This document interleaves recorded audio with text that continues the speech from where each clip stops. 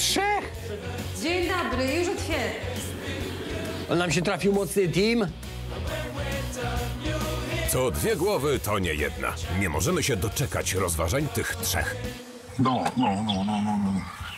Chyba dół tam będzie, nie? Nie, czekaj, wiem jak to możesz spać. To być chyba tak?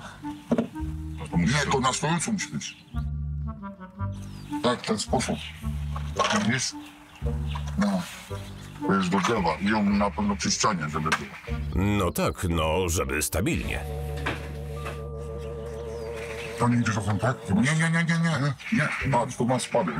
Czerwony, widzisz? No, czyli tak, no. No, oprzyj tam na razie. Tak na ten. Tak, tak. Tak zaś ustawimy sobie, no, no. Ale na razie w ten.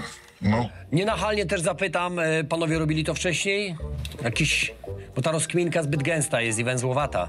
A to proste jak, nie przymierzając, drut. Może dla ciebie. No, Poczynaj to. No, a my położymy na... Sobie.